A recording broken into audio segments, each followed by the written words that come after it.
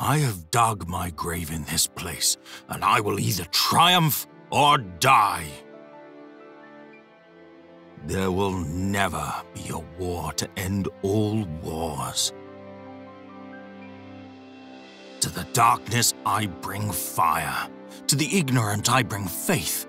Those who welcome these gifts may live, but I will visit naught but death and eternal damnation on those who refuse them. Have faith in the people of this city, champion. Such condescension is beneath you.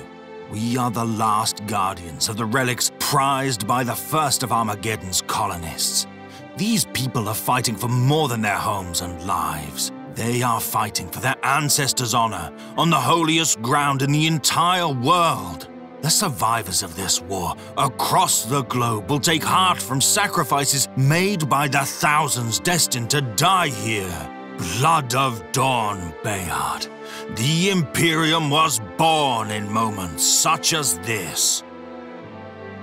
Behave as if you already carry the responsibilities you seek to earn. Vengeance is never petty.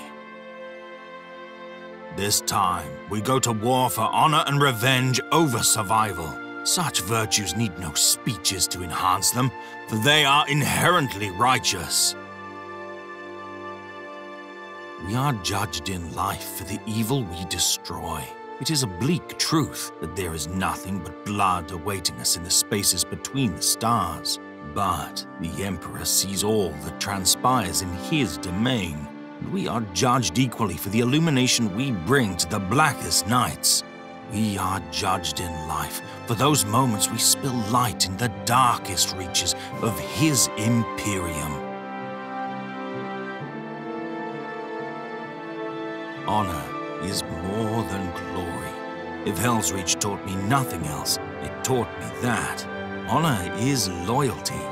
Honor is control over our baser instincts, mastering rage into the most potent weapon it can be, not spending it purely to earn a saga around the campfire or an annotation on a roll of victory. Hero of Helsreach, the crowd cheers as if there is only one.